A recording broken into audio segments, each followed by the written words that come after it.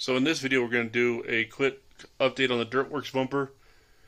Mine lasted a few months before it seized up. I had to use my F-150 to pull it open so I could even get my hatch open. Then I had to cut it off. I'll show you guys some still pics. I've been really busy with a new job and haven't had time to sit down and make any videos.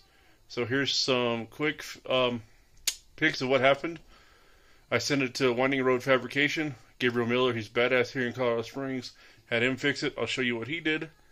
And um, it's just a quick video just because I haven't been able to do this for a while. So hope you guys enjoy.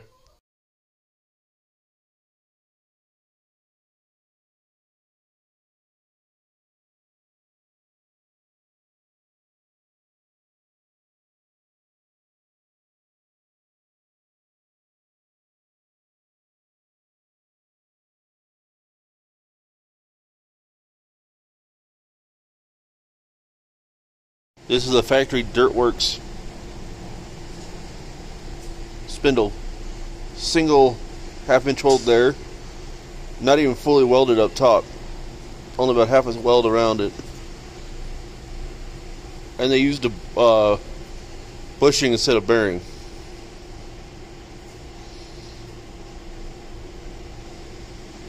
Looks like there might have been about an inch weld here. The trail forged spindle that Gabe used goes all the way through the new bumper, welds all the way down the inside of it. Alright, you can see where Gabe put in a new stop.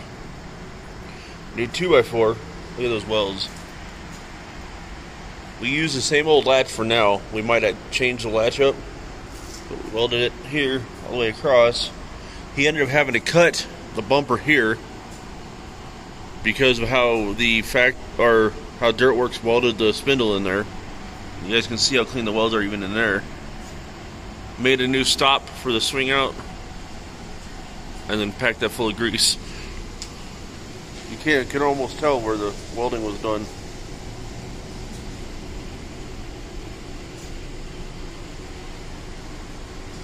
Once again, sorry guys that I haven't been able to make any videos, but um, thanks for checking this one out.